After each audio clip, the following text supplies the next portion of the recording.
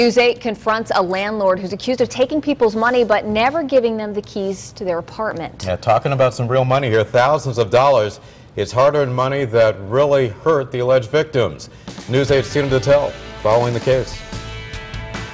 Norwich businessman Zane Magos tries to avoid our camera and our questions as he leaves New London Superior Court after posting a $16,000 bond, some of which may be used to pay back some alleged victims. Mr. Magos, can we speak with you? No, I'm sorry. Uh, because we understand the bond helped pay for restitution.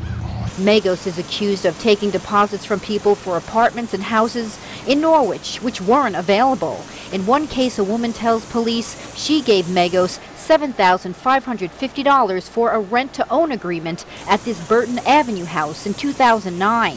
He even gave her a receipt, but after a year of excuses, she realized she'd been scammed just one of several people who eventually went to police. Already there are six arrest warrants against Zane Megos, each one describing how he took thousands of dollars in deposits to rent an apartment or buy a home, but he never closed those deals.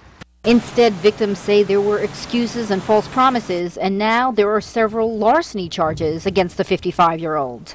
News 8 has learned there may be more charges to come. In Norwich, Tina Detelj, News 8.